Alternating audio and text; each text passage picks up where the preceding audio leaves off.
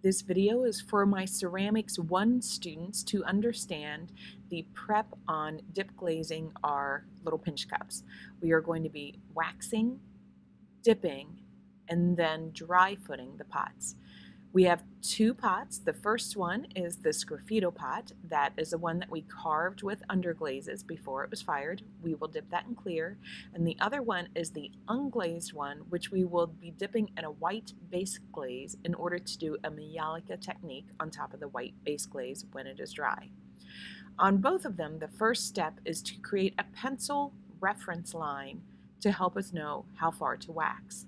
We will be putting wax on the bottom of our pot to make it easier to get the glaze off. So if you lay a pencil down flat on a table and rotate your pot up against it, you will create a line that is about an eighth of an inch above the base of the pot. That is how far you will want to wax because you have to have some clearance between the glaze and the, the kiln shelf. You will do that on both cups. Next, you're going to go to the wax station and you're going to use a wax brush. Now you can see the wax station has instructions that are written. It has a little holder for the wax brushes and it has the wax itself. You will be using the wax brushes, make sure they're not too wet and you don't want to have any wax on your fingers or else it will transfer and you're going to be again putting the wax up to the pencil line so it's an eighth of an inch up. There are some examples there that you can look at. So as you brush the wax on, be very careful not allowing it to drip. Again, you don't want your brush too wet and your fingers should be clean so you're not transferring wax. A one thin layer is all it takes. And then you're going to do the second pot in the same manner. So right up to the line. Now, if wax doesn't get into the grooves, it doesn't matter. Now, you want to wash your brush out because the wax will harden if you don't. Wash it out. You can use a little bit of soap and then kind of shake it out before you return it back to the holder. After you have applied your wax and it is dried and it doesn't really look white or sticky anymore, then you're ready to glaze your pots. Now we have two glazes back here, so you want to use the correct one. First of all, let's look at this one. It says dip the red unglazed pot in here. That is for the Majolica technique. It's the TC11 white. When you open this up, you're going to be using the whisk to really mix it up well because glazes will settle out between classes or overnight and it might get watery on top. So you want to make sure that you have your glaze mixed up well. Now the other glaze, that is for the Sgraffito cups, and that is the clear glaze, and it does look pink, but it will fire clear. Now you can see that one was definitely more watery on the surface, but by proper mixing, it will incorporate it and it will be a nice even mixture. Now surrounding these buckets, you will see that there are some trays, old trays, and then you will also see these tongs. The tongs are going to be used to hold your pot. So you want to grab your pot by the side. So I'm putting the pot right side up. I'm going to use the tongs to grab the side of the pot. So one part of this tong goes on the inside of the wall, one on the outside of the wall. I'm holding it by the side, not by the bottom grip it pretty firmly and when you kind of squeeze together your uh, the handles that is going to hold it real firmly and you're going to then submerge it into the correct glaze. So this is the unglazed pot going in the white glaze. When you take it out flip it upside down and shake it off the pot should be upside down because you want to encourage the glaze to run up off the top, not to pool down at the base. Um, if it pools down at the base, you'll have a thick accumulation that can get stuck during the firing. So you shake it off until it looks like it stops dripping.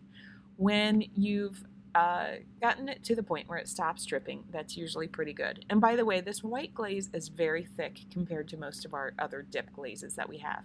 Now, before I set it down, I want you to notice the bottom. See how it's starting to kind of bead up and kind of uh, peel back a little bit? That wax is helping to um, get it not to adhere. Then at this point, I can wipe the bottom by uh, using the sponge that I have. There's a damp sponge next to it, and then I can place it on the tray. So you can see it didn't make it completely clean, but it certainly helped. And then place it on the tray. We're going to let it dry for about 24 hours. And you have to be careful when you release those tongs so you don't scratch it. Our next step is going to be repeat it with the other cup in the other glaze. So here I'm going to do the Sgraffito cup in the exact same manner, hold it by the side, dip it in, take it out, upside down, I'm shaking it off, and then I will wipe the bottom. Now, it will be a natural occurrence that the pink will appear more thin than the white. That is just the nature of these uh, couple of glazes that we're using. So again, hold it upside down until it stops dripping, then place it on the tray and try to do that without scratching the glaze off. All right. We then allow it to sit for 24 hours to dry. Now we're going to dry foot it.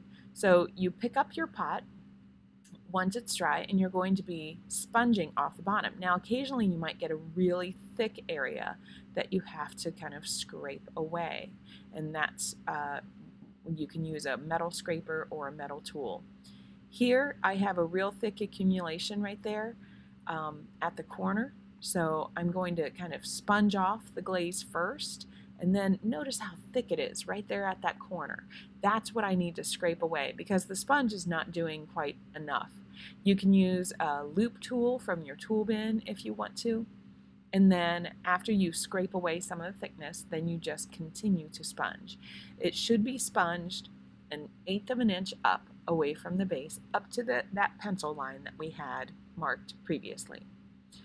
If by chance you have uh, wax that you got in a spot, um, you can't just glaze over it.